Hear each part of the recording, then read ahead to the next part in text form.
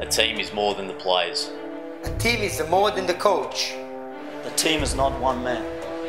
A team is a group of people. Together, striving for victory. Those shots have been gilt edged ones. That is Dave Nichols! Buries the header! A team is the fans.